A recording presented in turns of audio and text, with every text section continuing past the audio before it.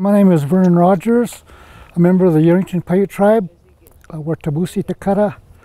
Um, I've lived here in Lovelock for a little over a year, and I've been teaching uh, uh, different uh, cultural aspects to the youth up here, uh, ranging from uh, hand game to the language.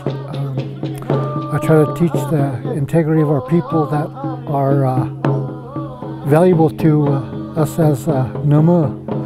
Numu means the people.